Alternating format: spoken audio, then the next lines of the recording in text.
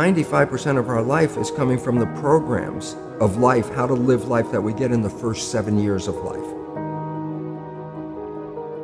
That's why poor people stay poor and rich people stay rich. The movie The Matrix is not science fiction, it's a documentary. Every human, and this is a fact, every human first seven years is, uh, is download a hypnosis. The brain of a, a, child under seven is in a lower vibrational frequency. When you put wires on a, a person's head, you read electroencephalograph, reading brain activity. A child below seven has a lower vibration than consciousness. It's called theta. Theta is imagination. Oh, that's how kids play a, a, tea party with mud pies, but to them it's a real thing. A kid rides a broom, it's a horse. It's, that's theta, imagination. Theta is also hypnosis. And the idea is this, before you can become conscious, if you don't have any programs, what are you going to be conscious of? So nature makes the first seven years how, what kind of programs are required to live on this planet? I say, how do you get them? Theta is hypnosis. You just watch. You watch your parents, you watch your siblings, and your community, because you have to learn how many hundred thousand rules? Think about it. Just to be a functional member of a family and a functional member of a community, there are rules. Teach an infant these rules. It's like, oh, you don't have to. First seven years, they just they observe it and just download it. Look, this is not new. I mean, there's the famous book, Rich Dad, Poor Dad and basically said you come from a poor family and you could struggle your whole life and try to get rich, but you're not going to make it. And if you come from a rich family, you could be stupid your whole life and make it. Not because it was thinking, but it was unconscious behavior that was downloaded from rich families into kids, uh, which is unconscious. So they're they're making the right moves unconsciously. If they engage their conscious mind, then they look stupid, but it's unconscious. And that's the same thing with poor people. Poor people have beliefs from the family oh, you can't make it, life's a struggle, things are hard, who do you think you are? And if that's the program you get, then 95% of the day you will sabotage yourself.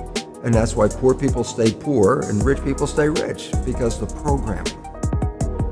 95% of our life, is a fact, comes from those programs in the subconscious. Every day, only about 5% of their life are you using conscious, which is creative. 5%. So your life is being lived even though you think you're living your life. Exactly, and you don't see it because it's called subconscious, below conscious. and the Jesuits, for 400 years, they were boasting. People didn't understand. They say, Give me a child until it's seven, and I will show you the man. They've been saying that for 400 years because they knew seven years was the program period. And 95% of your life after that will be whatever that program is. So you don't have to try and think about what happened. I just say, look at your life. The things you like that come into your life come in because you have a program that supports them. But anything you struggle with, work hard at, put a lot of effort into making it happen, why you're working so hard, inevitably you have a program that doesn't support that conclusion and you're trying to override the program. So uh, you don't need to do a lot of strength and psychology stuff. You just look at your life and say, where am I struggling? Because wherever you're struggling, inevitably is a program in your subconscious that does not support that destination you've been looking for.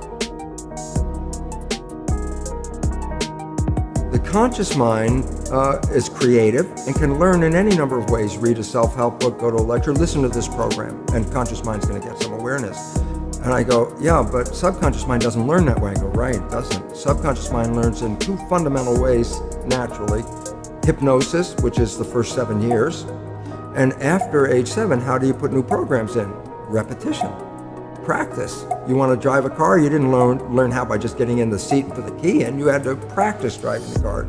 You want to learn the alphabet. How many times did you go from A to Z? Uh, you know, try to go to A to Z before you can complete it. And once you completed it, you didn't have to go back and do it again. So two phases. You want to train the subconscious mind, hypnosis, uh, repetition. The, uh, I like the last one because there's a new phrase that's bandied about called fake it till you make it. Mm. Meaning, if you're not a happy person, I say, you want to be a happy person? Then repeat all the time, I'm happy, I'm happy. I say, well, you don't look happy or anything. I said, no, I, who am I talking to? By repetition, I'm talking to subconscious. If subconscious gets, I am happy, and 95% of your life comes from that subconscious, there'll be a point once the subconscious got, I am happy, you don't have to say it again. Okay. It'll be automatic. And that's why we pe- see people do affirmations and gratitude journals and stuff because if you do that daily, Re- It's repetitive. That's the that's the secret part. Look, Putting a sticky note on the refrigerator is more like a suggestion, but it's not a repetition. So it doesn't work very well. But you have to do repetition is a is a habit. It's making habit. So you got to do something religiously in the sense of repeating it, repeating it, repeating it to make it work.